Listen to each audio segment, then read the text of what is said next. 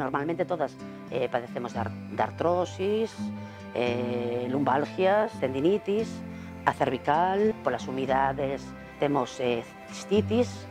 depende as épocas o ano, eh, non sempre o soldo é igual, claro, somos autónomas, os ves a traballar, e eh, mañán igual non.